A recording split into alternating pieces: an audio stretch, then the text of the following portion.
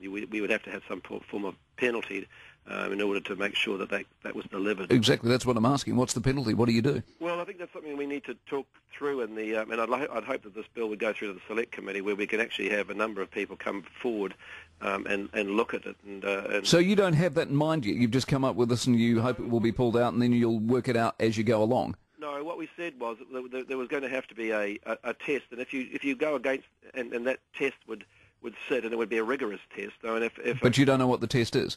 No, well, the test has to be a substantial number of jobs and exports. Uh, yeah, but if they fail the test, you don't know what yeah, the penalty is. Then, then they would have to um, perhaps give up the, the, land that they were they had bought, or they. So you would take them to court to force them to give up the land.